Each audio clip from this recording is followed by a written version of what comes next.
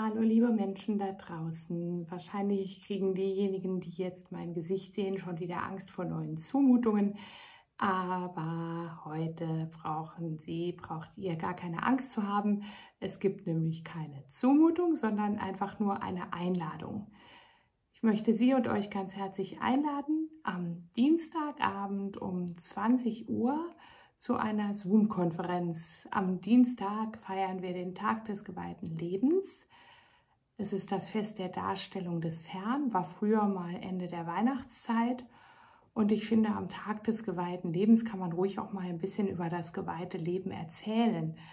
Wieso leben wir eigentlich so? Was macht unsere Lebensform überhaupt aus? Wie kann man eigentlich nur so verrückt sein, ins Kloster zu gehen? Und was findet man da, was draußen nicht sowieso schon alles ist? Mit diesen und anderen Fragen werden wir uns am Dienstag beschäftigen. Es gibt einen kleinen Impuls am Anfang und dann lade ich ganz herzlich ein, mir einfach Löcher in den Bauch zu fragen. Alles, was Sie immer schon mal über Klosterleben wissen wollten, sich aber nie zu fragen getraut haben, alles, was Ihnen überhaupt fragwürdig vorkommt an dieser Lebensform, dürfen Sie ins Gespräch bringen. So schnell bin ich, glaube ich, nicht platt zu machen und ich kann ja immer noch entscheiden, wie ich die Fragen beantworte, wie persönlich ich werde und nicht. Ähm, da braucht keine Angst zu haben. Also herzliche Einladung, mit mir ins Gespräch zu kommen.